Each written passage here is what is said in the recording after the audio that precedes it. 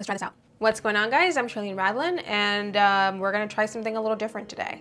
so for this video, I'm just gonna get a little personal and we're gonna just be talking about some things that I learned in acting class. And if it's something that you're curious in doing, but you're so terrified, or if you're so excited and you just need that extra confirmation, then I hope that this video helps you out and maybe you'll learn something. So I am a bi-coastal actress. I have done two feature films in California. I was supposed to be doing a third one in October, but the strike happened, so there you go. And I've done three, four short films in New York and one feature in New York as well. Let's get into it. So I'm just gonna dump. I'm just gonna dump all the things that are in my brain out to you guys and I hope, I hope you like it. No teleprompter that I'm reading. It's just coming from in, from in here and in here out. Okay. I've been taking acting classes since 2017, so about six years now. That's crazy. Um, I started off in improv. So I was a part of a studio called Kimbo Studios, and their improv is actually called Ballistics. And it is terrifying as it sounds and so incredible at the same damn time. I genuinely think that it helped set the foundation as to what I can bring to the table as an actor. And what I mean by that is you really get outside of your head and outside of your body and, and you're so present. you're so present. I think that's the most incredible thing about improv is that you have to listen to the other person because you genuinely do not have a guideline as to what they're going to say. When you have lines, you already know what the person's gonna say. And so you're already reacting before they're even acting, before they're even speaking. And when you're in improv, you're listening with intention and purpose, and it then forces you to think about what to happen next. And guess what, guys? That's called real life. and that's what makes it so beautiful. And that's one of the things that i really you know i i started off with improv because for me i was in a very dark place at the time. And i really felt like i needed well actually my mom was the one that told me that i should try acting classes and i should get into it because she's been telling me to do that for most of my life. And i just did not listen because sorry mom mother knows best so here i am i'm learning now and i'm doing it and we're, we're making it happen. Anyways, I digress. Some of the things I learned in improv classes was just like, for one, getting over that fear of performing in front of people and allowing my thoughts to really like to just do them, to working on an impulse and not thinking things through.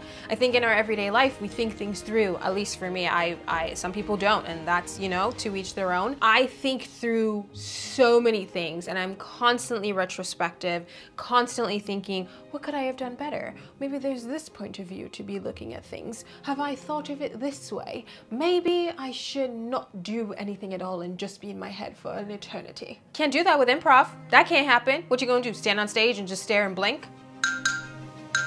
And so therefore it really got me outside of my head and it allowed me to bond with my classmates in a way that was just building that trust with one another. That was so important because in the improv room, there's no cameras, there's nothing, and it's just you, your scene partner, maybe you're by yourself, and your classmates. And you really, I mean, it's kind of therapeutic.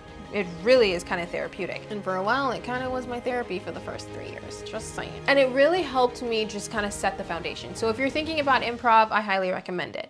Now we're gonna get into some on-camera stuff. And that's where the real shift in everything kind of changes because you're taking a lot of that groundwork from the improv and you're trying to implement it on camera. And in my opinion, improv is is kind of similar to theater in the sense of it's a performance and you're doing it and it doesn't really matter how loud you are, but the person in the back can definitely see what you're doing and the person in the front can really see what you're doing and you can get really, really tiny and you can just be right here. Or you can get big and big and big and big and that's also acceptable. Yeah, on camera that doesn't really work, like at all. And what I mean about that is that there's such a intimacy that you that you develop with doing on camera and I realized that. This sense of it's just you and me. It's just you and me. Thanks. If I were to do that in improv you'd probably still feel it but it it definitely takes out some of that for you. Now on camera is literally like how it is right here. I am like this. You see me, right? I'm on your screen And there's this, so there's a camera, you're in a room, there's a camera in front of you. Maybe I'll draw a graph so that way you can see what I'm trying to explain. It's like as if you are going in and auditioning for a role. My coach, who her name is Jamie Carroll, I've been going with, I've been taking classes with her for over three years. I want to say four years now. And when I say the lessons I have learned from Jamie, and she's always made me cry every single week in the most beautiful, profound way because she is just a teacher that really sees through you and sees the essence of you and is just trying to pull that out. That little inner child that is that has gone through so much trauma and is second doubting themselves. She coddles you up and she's like, it's gonna be okay, you're good. Those things that you're doing, like I understand why you did them because you're trying to just protect yourself and it's kept you safe. But this person here, oh, baby, they're powerful. They're incredible. Let them come out. You know, it's one of those things that when you think of like a child actor, that's what makes child actors so incredible is that they're not bringing anything to the table in the sense of like there isn't a lot of life experience from them, right? Whereas an adult actor, we might view them in a very different harsh light because we're just like, what are they doing? Why are they talking that way? Why are they acting that way? But a child, when they're so you know, when you think about the, the cast of Stranger Things, for example, when they first started, they were just being themselves. You just felt like you were in their life and they were your friends and you were just watching a YouTube video, a terrifying one, but of their life. You didn't feel like they were being a whole thing, like a whole thing. But that's what kind of getting back into acting is. Like as an adult, in my opinion, it's like you're letting your inner child come out and just play. Ah, you can just play. It's so fun. Now I want to say that it's not easy. That that is a very hard skill to like learn and undo because we bring all of our crap that we've had and, and, experiences and if you've never done this before like i didn't grow up acting i didn't grow up you know, being on stage in that way as a theater person uh, or anything like that. So this world was very different. Now, I do model. I am in commercials, but it is completely different to do a commercial than it is to act in a movie or a short film. Because when I go in for a commercial, you're just booking Sharlene. Hi, what's up guys? Here's a product. When I am acting, acting, you're being this character. You're bringing this character on the paper that the writer has written to life. So it's a different side of you. One of the uh, most incredible things that Jamie has taught us is even if you have never gone through 90% of the things that are written on this paper, there is still humility that you bring to the table. At the end of the day, that is a person.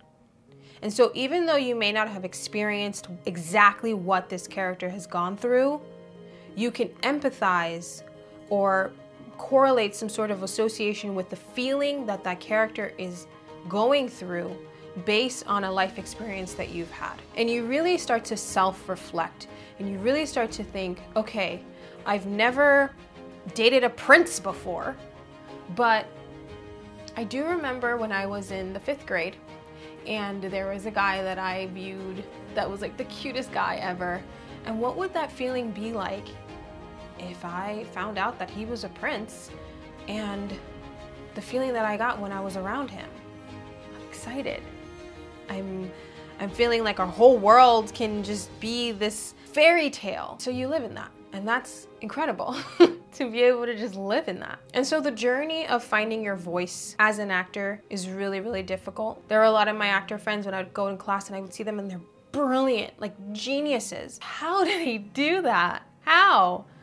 And then, you know, after class, they would look at me and they'd be like, Shar, you've got it. You just got to believe in yourself. And I had no idea what that meant. I was like, what do you mean believe in myself, girl?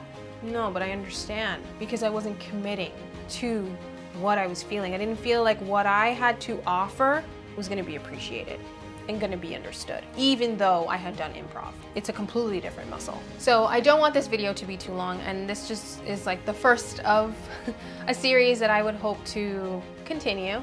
And if you have any comments, let me know down below, and I would gladly answer any of them because this stuff is so fun to me.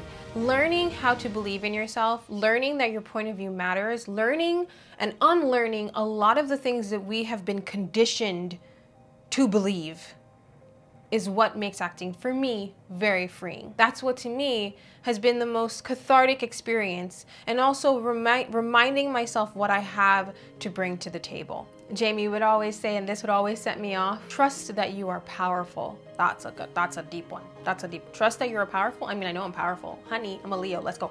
No, seriously, through life experiences, through especially as a model, feeling like you don't have any control, you don't have any power. If I can pour that into a character, you're gonna see me, that's for sure. With that being said, if you are interested in doing acting, if you are just curious about what goes into acting or what somebody could have learned, if you have any questions, if you have any thoughts, let me know them down below in the comments.